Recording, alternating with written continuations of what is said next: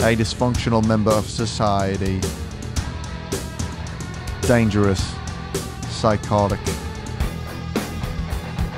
He's a monster in sheep's clothing. He may look soft on the outside, but really, he's a complete loony.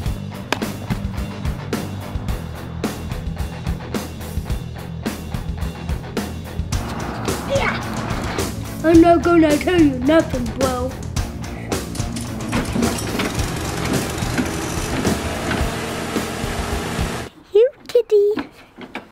Psycho Kid. Oh, the brutality.